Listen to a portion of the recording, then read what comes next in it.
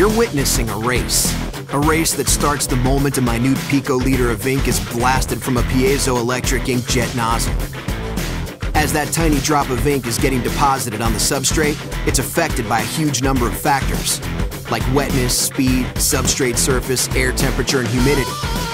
This change in diameter and shape is called dot gain. It's tough to manage. What's lost is precise drop size control, which can affect print quality, PMS color matching, variable gloss, and ink yield. Now, there's a way to win the race that takes place in between jetting and curing.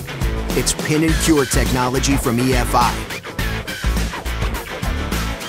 With high-performance LED lamps, it's possible to freeze that little drop in its tracks, exactly where you want it. That's known as pinning. The instant on-off nature of the LED lets you precisely adjust for more or less dot gain.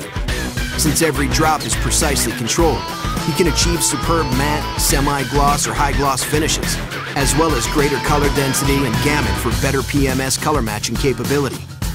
Continuous tone images are a breeze because of smoother transitions in color. And since the ink film is thinner, the finished print has a lithographic look and feel. Final curing is achieved at the end of the process with the use of a mercury arc lamp.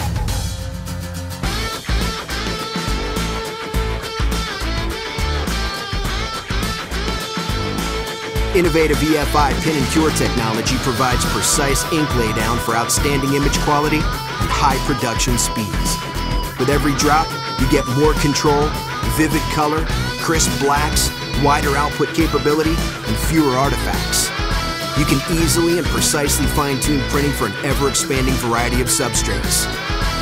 Best of all, EFI pin and cure technology is so powerful, you achieve a higher perceived resolution with every output, adding to your capabilities to produce closely viewed, higher margin jobs.